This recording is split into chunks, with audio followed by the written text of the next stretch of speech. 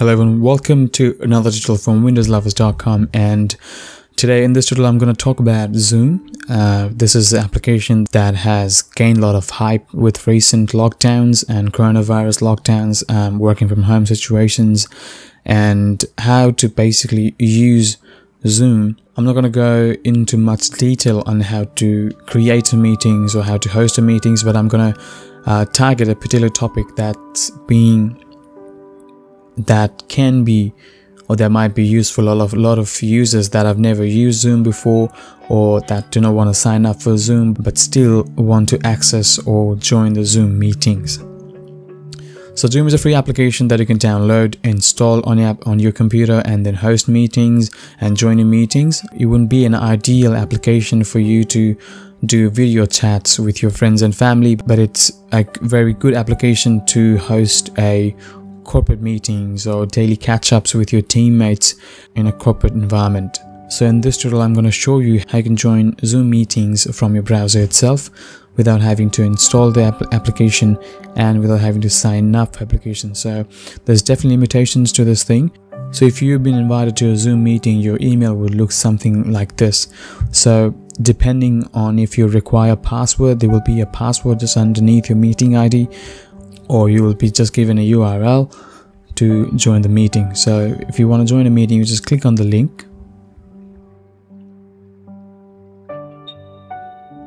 and it will prompt you to download and run Zoom. So at the bottom of the page, you can see if you cannot download or run the application, you can click join from the browser. So all you gotta do is just click on join from your browser. So this will ask you for your name. And you just click on join.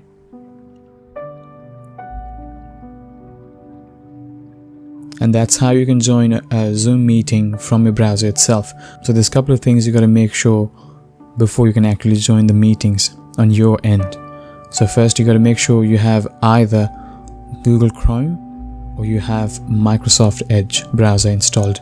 So not the old Microsoft Edge browser, but the new version of Microsoft Edge browser that's actually built on top of Google Chrome. So you will be able to join meetings from old Edge browser, but the only problem you will have is you won't be able to enable your speakers on that browser. If you don't have the latest version of Microsoft Edge, you won't be able to hear anything in the meeting. You will be able to join a meeting from the browser, but you won't be, you won't be able to listen to any of the audio from the meeting. Alright, so from your end, you're going to make sure you have Google Chrome or Microsoft Edge. So whoever's hosting a meeting, there's a couple of settings that they can put in place that might not allow you to join the meeting from the browser. The first thing is there's an option called only authenticated users can join the meetings from the web client.